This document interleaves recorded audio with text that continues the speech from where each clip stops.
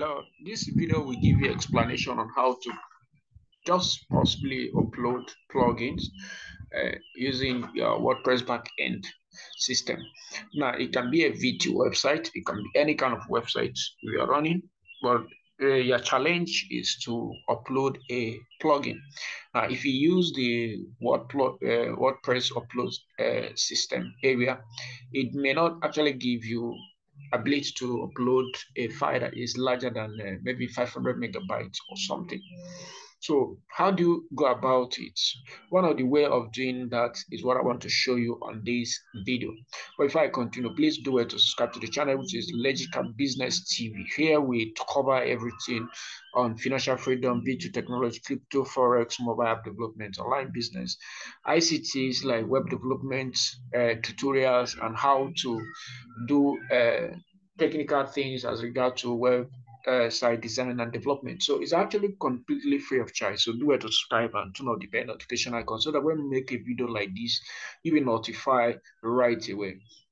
Now, actually, this video is actually requested by somebody. So uh, if you're watching the video, or even if it's not requested by somebody and you are searching uh, YouTube or internet how to uh, install WordPress a plugin from the backend, you can easily follow this tutorial to get started. Now, to get started, you need to log into your WordPress dashboard, either through your uh, smartphone or through a laptop, whichever means is, is okay. So once you are there, you just quickly go to, to plugins and then click on add new, okay? So just click on plugin, look at it here. So plugin, then you I click on add new. So you'll be directed to a place like this.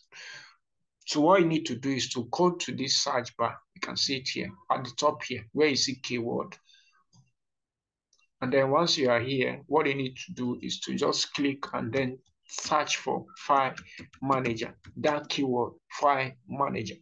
So the system automatically search it from the WordPress respiratory okay? So that's what we call it uh, wordpress respiratory. So we have actually fetch it. Actually i have already installed it but i just want to show you.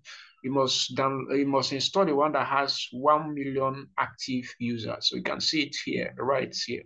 It has about five star rating so you can see it. Is actually active but i just want to show you how to call it. So once you have it, you just have to click on install now. Just like citing an example, just click install now.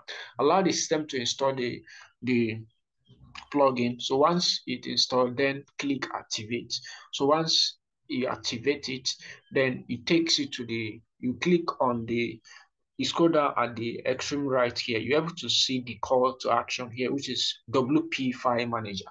So you just have to click on it. Once you click on it, to direct you to the to the what's it called? The wp template manager. So you can see it right away.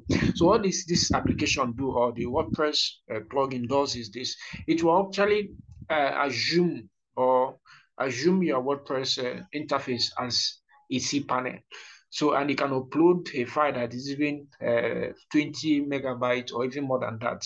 So on this place how do you make use of it? All you have to do is to master the icons. This kind this uh, icons that are here. You need to master how to make use of it. So I'm going to show you just in brief.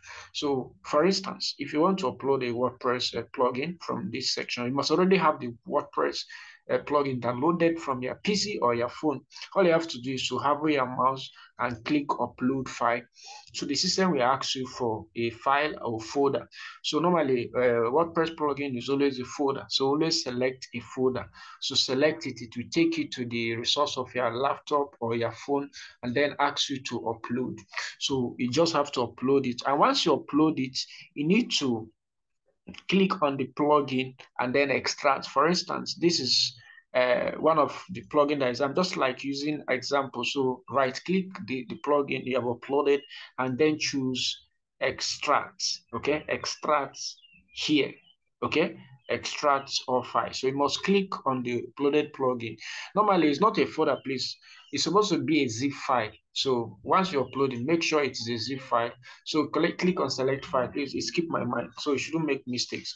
You shouldn't upload it. WordPress is not always a, a, folder. It's actually a zip file. So once you upload it, you extract it. Once your extraction is done, then you go to your plugin uh, area your plugin uh, section, which is already installed. Once you go to the uh, installed plugin sections, then you now activate the plugin that you have uploaded. So remember, install, extract, then activate. So these are the three process you need to go through.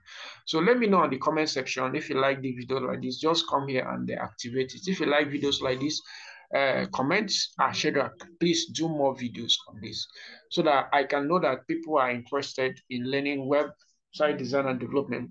So I can be able to make more videos teaching you some tricks and tips on WordPress development. So, and then uh, those of you that are new to the channel, we cover several topics and ranging from telecom, crypto, forex, mobile app development. So line business in general. So make sure you stick around the channel, subscribe and like and share the video. Thanks and God bless.